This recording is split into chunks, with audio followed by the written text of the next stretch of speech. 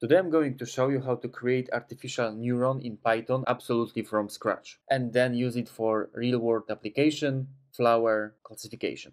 Okay, so let's start with very quick introduction. Artificial neuron is called perceptron. This idea was developed like 70 years ago and was inspired by biological neurons. But as you can see, perceptron architecture is much much simpler. This loop from second picture is related with training, so let me remove it because it's not relevant now. Perceptrons are just building blocks for complex neural networks. So if you compare neural network to screen, perceptron would be a pixel. That was kind of weird comparison, but let's move on. We have some kind of inputs. Every input has weight, it is summed, and then passed through some threshold function and that's it. This trivial mechanism literally is powering every complex AI solution we have on the market today. Okay, enough theory, let's jump into the code. First step is data. I am not flower lover, but I'm going to use this iris dataset. My perceptron will be binary. In other words, it can detect only two classes. So I am interested in iris setosa and iris versicolor I am not using Iris Virginica at all, so I will load only first 100 rows of this dataset, because three classes classifier would be much harder problem. I need three basic libraries, matplotlib for visualization, pandas for data, and numpy for math. First, I am creating data frame. Select 100 rows, fifth column, and values from it. It's 0, 1, 2, 3, 4, 5 species. So if I will print it, I have 100 labels and to make it simpler I am replacing iris setosa with minus 1 and versicolor with 1. It should look more or less like this. Now I have to extract my input values. I called it x.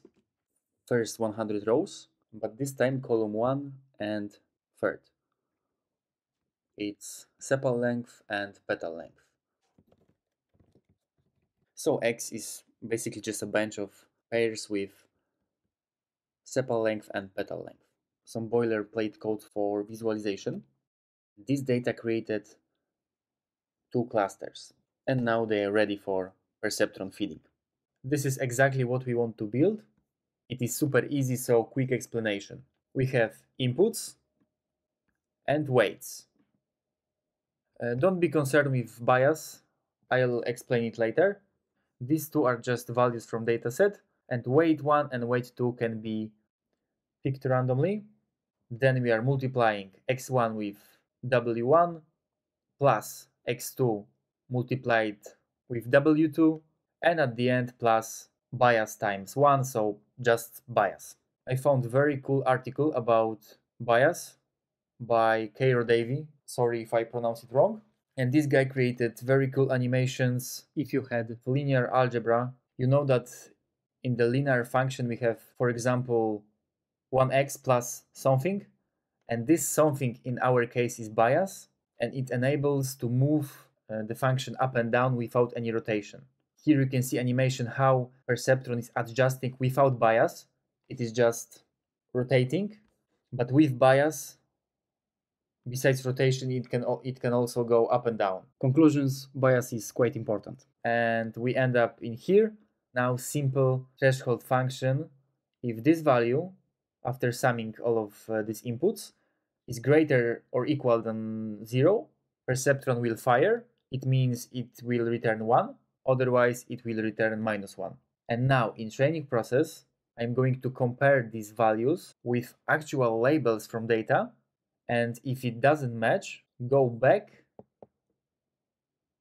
and adjust the weights. And it is basically the full concept of artificial neuron. Let's implement it. I forgot about learning rate. The whole idea behind this is you don't want your network to learn too fast. So in this diagram it should be here. So before updating the weights, we want to scale down the signal for, for example, 0.1. This value can be much smaller, can be much bigger. For now, let's stick with 0.1. Epochs are just number of iterations over training dataset. As I said before, weights are totally random. Bias is also totally random. If you want, you can play around with these numbers. Train function is expecting labels and array with petal and sepal length, our x1 and x2. Iterate over epochs, iterate over zip x and y. Zip is basically taking first index of x and first index of y. It is gluing it together into tuple. The update value is actual label minus current perceptron prediction multiplied by learning rate. And these two lines are the most important. It is adjusting the weights and the bias, exactly as in our diagram, bias is multiplied by 1 and weights are multiplied by inputs. And from this signal, I am up updating directly W1, W2, and bias itself. If update was not equal 0, it means that neuron made mistake. I want to add it to errors and append it to errors list.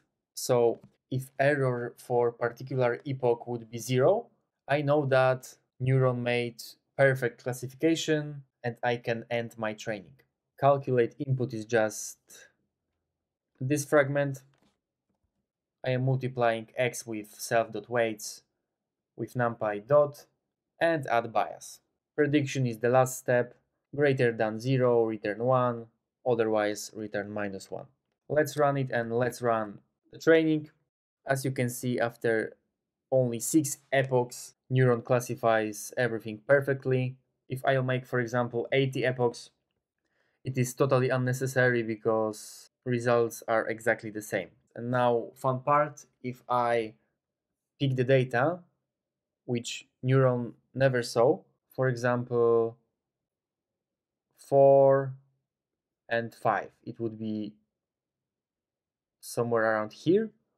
I am expecting it would be versicolor, so model should return 1. 4, 5. Uh, it works perfectly fine. Thanks for watching. I hope you learned something new. Uh, if you want to see some more complicated examples, let me know in the comments below. Thanks again and see you soon.